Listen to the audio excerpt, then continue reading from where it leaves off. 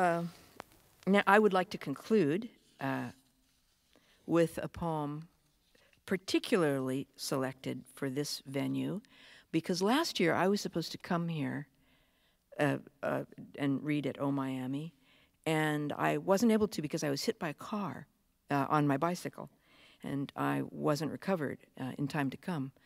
Uh, and later, uh, I was sent the most bewitching image. It was a it was this poem that I'm going to read you, which is 28 words, counting the title, that had been put on T-shirts, one one word per T-shirt, and and people lined up in their in their um, uh, line in their poetry line, which was would be a very narrow line. There would be two or three people standing next to each other, and these they, there were photographs taken of these people in in sequence, just just and then and then they became the poem. I mean, there was the poem on their T-shirts because this is quite a dark poem. I mean, it's a very painful poem, and and I felt that the pain was entirely removed from that poem through probably incomprehension on their part.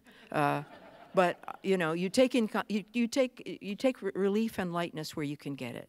So I will end with this, and I thank you here very much, and you outside. Um, it's called Still Start as if engine parts could be wrenched out at random, and the car would still start and sound even.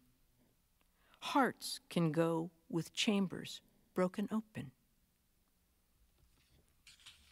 Thank you.